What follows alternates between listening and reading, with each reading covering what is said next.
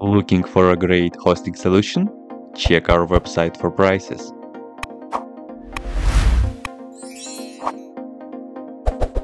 First what you need to do is to update the server packages.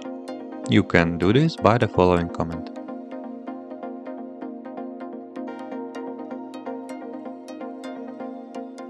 OpenCart requires a LAMP stack to run, which stands for Linux Apache MySQL and PHP. You can install it by running the following command.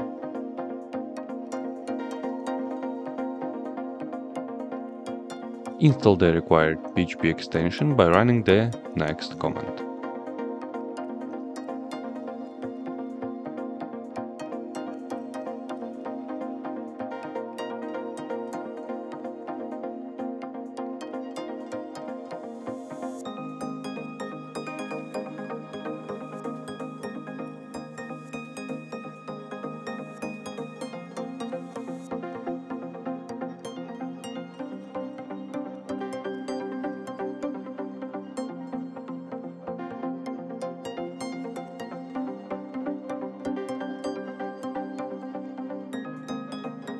After installing the LAMP stack, you need to create a database for OpenCart. You can do this by running the following command in the terminal.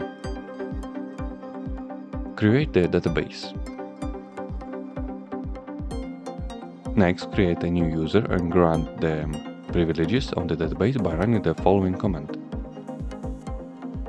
Make sure to replace the password with a strong password of your choice. Next, download the latest version of OpenCart from their official website. You can do this by next comment.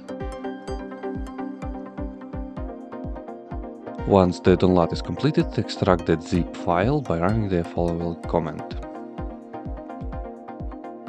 Now that you have downloaded and extracted OpenCart, it is time to configure it. Move the upload directory to Apache Web Server's documentary root by running the following command. Next, change the ownership of the OpenCart directory to the Apache user by running the following command. Finally, rename the config.dist.php file located in the OpenCart directory to config.php by using following command. Restart the Apache Web Server.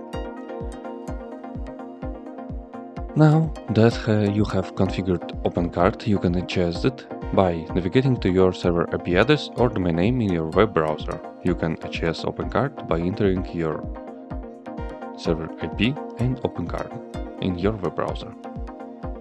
Accept the license by clicking on Continue button. Next you will be directed to the pre-installation step to verify all required extension package files, so click Continue if all is green. Also, you have to set up an admin account for OpenCart, enter your desired username, password and email and click on the Continue button.